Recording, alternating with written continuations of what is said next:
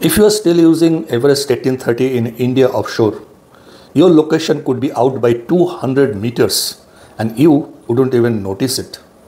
Imagine you are on a barge in Mumbai High and sent a location to a vessel and it drops anchor on your given coordinate and raptures a live pipeline.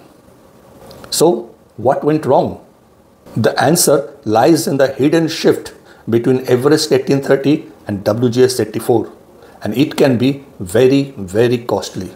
A real-world experiment was carried out by National Imagery and Mapping Agency of USA to map the coordinates of airports of India from north to south and east to west. The differences were staggering.